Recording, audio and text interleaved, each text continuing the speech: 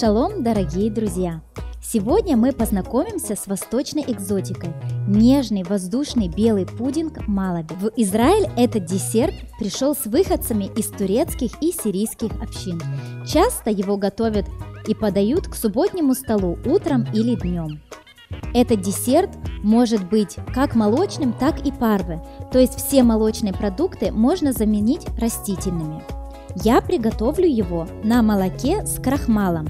Но главная особенность или главный секрет этого десерта в добавлении розовой воды, что дает ему необыкновенный аромат и вкус. Обычно десерт заливают ярко-красным сиропом, а сирийский еврей из города Халиб, который славится своими фисташками, посыпают десерт ими, а сироп не используют.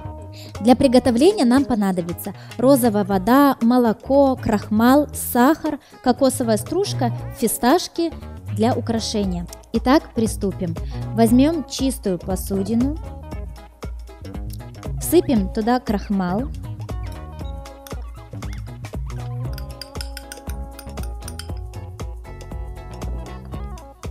и от общего количества молока отделим 1 стакан.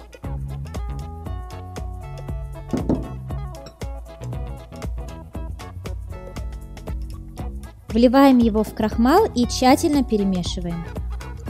Отставляем крахмал в сторону и начнем варить. Возьмем небольшую кастрюльку, вливаем туда молоко и сливки.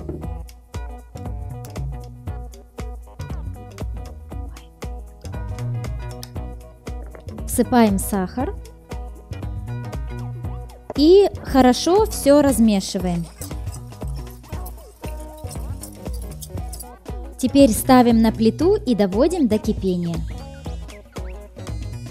Пока молоко стоит на плите, нужно непрерывно помешивать. Когда молоко стало горячим, на этом этапе нужно добавить 3 чайных ложки розовой воды. Возвращаем кастрюльку с молоком на плиту.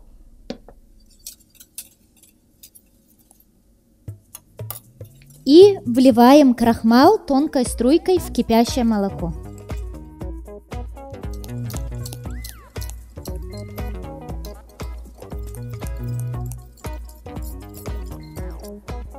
Десерт готов и разливаем его.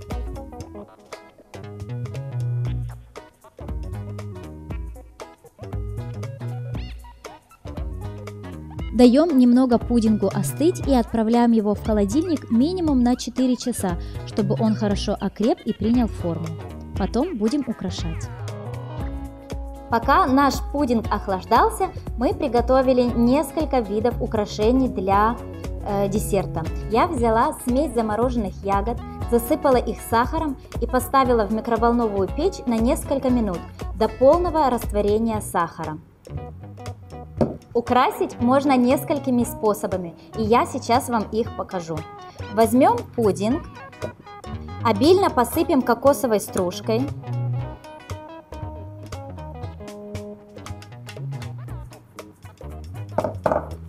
и фисташками. Так мы украсим несколько штук. Следующий вариант подачи такой. От ягод возьмем только сок.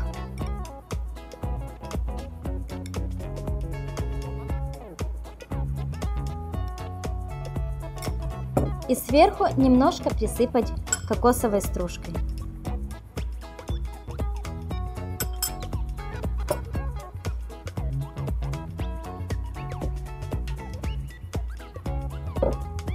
Можно взять такой же способ, только посыпать сверху фисташками.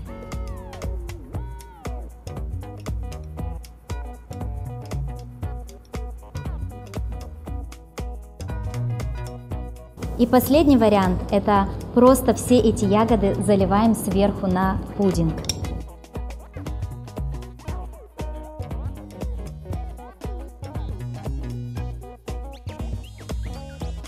Наслаждаясь Этим вкусным нежным десертом невольно вспоминаешь слова из Священного Писания, где Бог говорит «Я веду вас в землю, текущую молоком и медом». А духовные десерты вы можете получить на канале Оазис Медиа. Подписывайтесь и ставьте лайки.